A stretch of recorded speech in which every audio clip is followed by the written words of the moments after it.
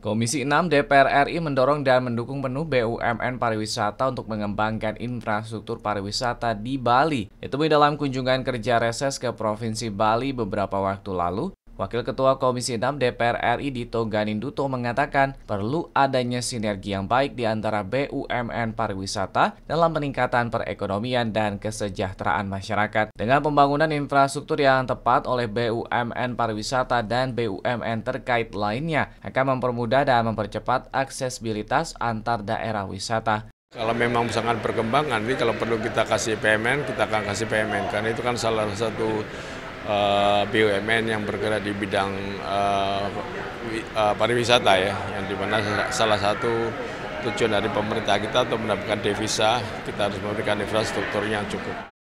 Sementara anggota Komisi 6 DPR RI Gede Sumarjaya menghimbau pengembangan infrastruktur pariwisata di Bali oleh BUMN harus mempunyai benefit atau manfaat yang signifikan terhadap peningkatan pariwisata dan tidak mematikan peluang dan keberadaan hotel-hotel lokal di Bali. Selain itu, BUMN perlu memberi perhatian khusus terhadap produk-produk UMKM lokal di Bali untuk mengembangkan pertumbuhan ekonomi masyarakat Bali. Tidak menonjolkan produk lokal, malah yang ditonjolkan adalah Eh, produk-produk luar negeri.